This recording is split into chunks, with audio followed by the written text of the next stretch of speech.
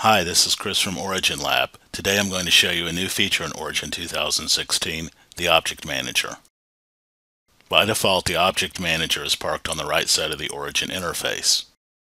It is designed to allow you to manage elements of your graph without always having to open a dialog. You can hide individual plots and layers and change plot order by drag and drop. When you right-click on an object, a context menu provides access to additional commands such as hiding plots with the same name, removing plots, changing plot type, or opening a dialog if it's needed. Double-clicking opens the Plot Details dialog with the relevant items selected. Finally, the Object Manager is flexible. Selections on the graph are mirrored in the Manager and vice versa.